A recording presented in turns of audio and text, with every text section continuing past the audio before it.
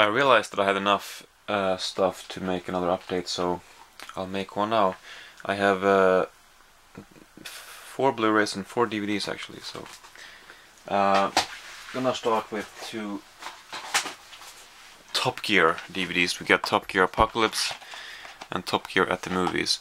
Watched this one um, a little while back, and um, this is fun. It says here the definitive guide to motoring in in a post-apocalyptic world, which obviously it's not. It's just it's just entertainment. It's just an excuse, or you know, excuse. It's just a, a kind of a loose theme to, to try various entertaining challenges in a way. It's sort of along the lines of the Top Gear challenges in a, in in a way, in a sense. It's fun. It's it's entertaining, uh, and uh, I mean, these have pretty high budgets. I mean, they they gotta have some uh, high budgets for, for this for these episodes. Or this is not an episode. This is a I think uh, it was not aired on TV. I think it was a direct to DVD thing. I think I'm not sure, but it was fun. This one though I watched last night. Uh, well, not really. I, fast forwarded uh, through most of it to be honest. It's called At the Movies, and obviously they focus on the cars from Bond movies, for example, and but it's it's it's really loose too. I mean, it's not really a movie theme. They just, I mean, if if they didn't talk about the the movies, you wouldn't have known that it's a movie, a movie car tribute. Not really. I mean, I don't know. It's just um, um, this focus on the cars a lot too. Not a whole lot of entertainment value, except for the cars. And I'm not a big fan of cars. Why am I watching Top Gear then? Well, like I've said before, it's a lot of cars, but a lot of humor too, and I, I just I, I appreciate that. So, uh, but I don't know. This one was not for me, um, but it was uh, had some entertaining parts that I, that I watched.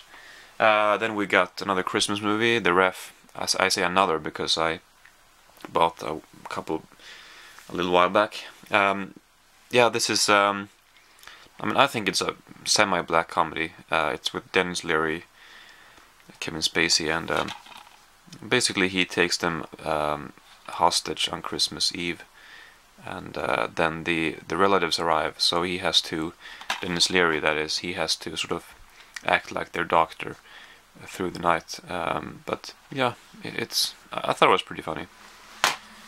Um, let's see, we have another Christmas movie actually, Most Wonderful Time of the Year this is a Hallmark movie, and I thought it started out pretty well, and uh, and you know, uh, eventually it um, got worse, but uh, it was still entertaining. It's with Henry Henry Winkler, and I think I think he does a good job here.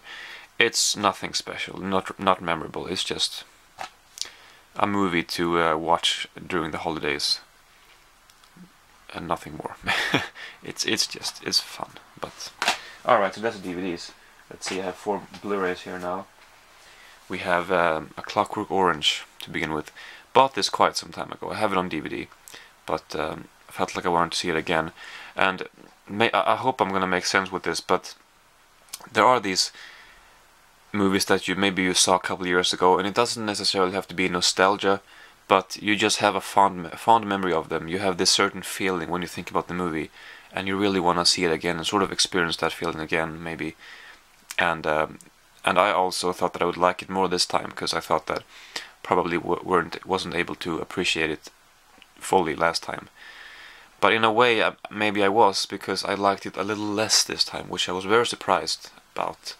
I just thought that, or maybe it's too deep, or maybe it's too um, subtle in a way. For I don't know, but I thought that some stuff was very flat, and not a whole lot to appreciate in a lot of scenes in a way. I don't know how to explain it, but I don't know. It is a great movie. I'm not saying anything else. It's like it's a great movie. I just um, I don't know. I was a little surprised at the fact that I didn't like it as much this time. Only a little bit less, but still. Um, but I do like the ending now, which last time I don't think I paid much attention to the, the way it ended, but now it's like, yeah, that's pretty cool uh, hopefully we'll be able to appreciate appreciate this more in the future. I mean, um, you know, some stuff, some movies just take time. This I've seen this a couple years ago now, uh, and I've actually seen it even I've seen it twice before, almost twice. The second time I did not finish it, but anyway, it's um, a great movie. I don't know if there was anything else I was gonna say. It feels like I missed something, but I don't wanna uh, waste any more time, or I don't wanna be too long-winded. Anyway, uh, then we got uh, the Grinch, or How the Grinch Stole Christmas. First of all, I just want to mention that last time when I unboxed this, I showed here on the back, it says extra DVD of How the Grinch Stole Christmas, and I said that maybe that's the animated short, uh, which is not. Uh, the the reason I thought, the reason I said that was because I thought the title of this Jim Carrey adaptation or this Ron Howard adaptation or whatever uh, was only called The Grinch, and that that was the title. So when it said extra DVD of How the Grinch Stole Christmas, I was like, well, that's a different title. That's probably the uh, cartoon. But no, since this is also called How the Grinch Stole Christmas, this just simply refers to the fact that this movie has an extra DVD with it. So that was, you know, not a little unfortunate because I would have liked to see the cartoon or the animated short. Uh, but it's no big deal because uh, it's on it's on DVD anyway, and I'll I'll get it next year probably, uh, next before next Christmas, um, and watch it then. Uh, sure, I have to wait a year. I don't have to, but I don't want to watch it any other time than during Christmas. Uh, so yeah, you have the DVD here.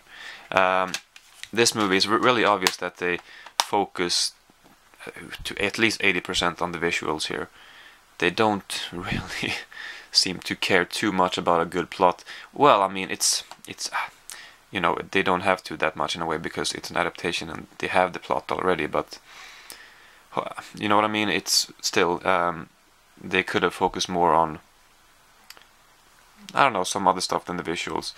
I do happen to love. I mean, visuals is one of the main things I look for in movies, but it just felt like that was the only thing that you could really enjoy in this. I have seen it before, by the way, a few times probably, but um, I just I didn't think it was a great movie this time around.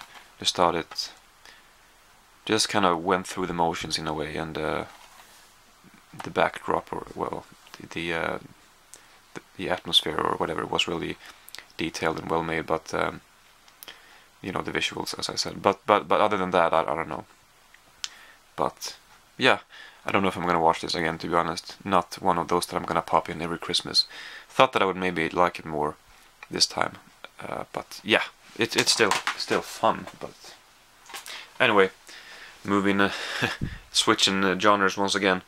Uh, we have Manhattan by by and with Woody Woody Allen. Um, yeah, great movie. I I bought this along with Annie Hall, and I think I might just like this one a little bit more. Mainly because of the ending, I have to say. The last dialogue there between Woody Allen and Mariel Hemingway, who, by the way, is the granddaughter of Ernest Hemingway, which I did not know. That's pretty cool. Um, and uh, it's with Meryl Streep, Diane Keaton. Um, yeah, I just I think the en ending there is is great. Just Woody Allen's smile, basically. Actually, I talked to a friend in school, and he said that it reminded him of the, the ending in City Lights, and he said that maybe it's even a tribute by Woody Allen to Charlie Chaplin and the ending of City Lights. I had not thought about that before, but yeah, maybe. Um, he's a big, big, big, big Charlie Chaplin fan, so I'm sure he has the ending of City Lights more clearly in his head than I do. But I can I can see that now that he, that he said it. So, uh, but I still uh, that still doesn't take away from this ending because I think this is a great ending. Um, and um, yeah, some of the dialogue not a big fan of. I'm not gonna go into detail. I don't think I can be eloquent enough about it anyway. But um, overall, it's a great movie, and um,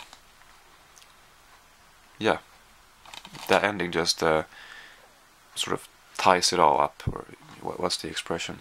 It just uh, sums it all up, or it's um, just uh, makes it makes it really makes it all uh, very um, uh, oh uh, whatever. It's it's a great movie.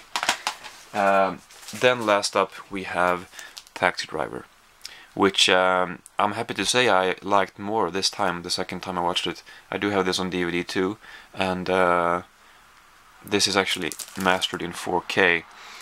unfortunately, I'm not very good at telling uh, video quality. I mean, watching a Blu-ray and being able to say this is good quality or this is, this is bad quality. I'm really terrible at that, I have to say. Because uh, usually the qualities to me are pretty subtle. I mean, the differences between pretty good and good and great. To me, they, they, they sometimes are. Uh, I mean, I've watched Blu-rays where I've obviously clearly been able to tell that this Blu-ray quality sucks, but sometimes I'm just... It's not my strong side. So you may, maybe this is not what other people would say, but I wasn't too impressed with the video quality except for certain the nocturnal scenes, like when he's driving the taxi and there's there there's like a POV shot from the taxi driving on the road. Uh, there's uh, close-ups on the um, cab, taxi cab, like water, rainwater on it, and various th certain things, just certain scenes um, uh, where the quality was indeed very very good. Um, but not in all of it, I didn't think. Anyway, um, I love the atmosphere of this movie. The atmosphere of this movie. As I said, the nocturnal scenes with just De Niro or um, Travis, um, uh, whatever his name is, um, sort of just um, looming around or whatever in in the maybe some the cheaper uh, neighborhoods of New York. Um, I'm not sure if it is, but it, it's in New York anyway. uh, it's just yeah, it's great and a lot of a lot of details too, a lot of great individual scenes that when you watch when maybe after you watch it you don't remember all of them, but as you're watching it you notice several small things that are really good about it. And uh, yeah, I mean, it's yeah, really good movie. Um, as I said, I am really happy to say that I I can appreciate it more this time, this second time. Before I thought it was a little overrated. This time, I wouldn't say it's overrated after having seen it again, but um, it's clear that most people still have probably see something about it that I don't see, because if you if you post a forum um, poll or something and you ask about you know the best Scorsese movie, it's very unlikely that this is not gonna get the most votes. Maybe Goodfellas can can uh, sort of be a bit of a competition in in some places, but pretty much always, always this is gonna win. and um, I don't know if I think it is that superior, but it is very good. Um, so yeah, I really enjoyed it.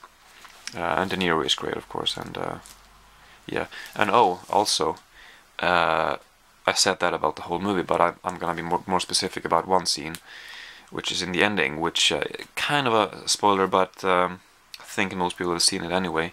But if you haven't, then you you, you choose yourself if you, if you want to listen to this. Um, but uh, in the ending, there's a bit of a shootout, and I remember uh, when I saw it a couple years ago that I was very unimpressed by that. I was like, well, this is really like uh, this is really you know aged or this is really cheaply made. I remember thinking. Now when I watch it again, I was like, is this really the same thing that I watched? Because this is great. really brutal. You know, some a guy gets his fingers shot off, De Niro gets shot in the neck, and before that, De Niro shoots Harvey Keitel in the stomach, and the, sound that he makes, the reaction that Harvey Keitel uh, gives, is really realistic. That you rarely see when someone gets shot. You know, not being able to breathe, and just the sound he makes is really yeah, I like that. and just the, the whole scene in the ending there, really good. Um, yeah, so I was uh, happy to uh, be able. To, I, I was happy that I enjoyed that more this time. Anyway, this is this is for sure a movie that I'll watch, you know, again in the future and probably. I, I, I'm I'm gonna I'm guessing I'm I'll, I'm I'm gonna view this differently in the future too. Uh, whether it's going to be positive or negative. Probably positive, but who knows? I mean, I, I just mean that there's probably details and aspects of this that I haven't considered yet, and whatever. Anyway, um, yeah, so that's the update for this time. Actually, gonna shoot another two videos today. All of them will not be uploaded on, uploaded on the same day, but so that's not really important to, to say. But anyway, uh, that's the update for this time. Thank you very much for watching, and see you next time.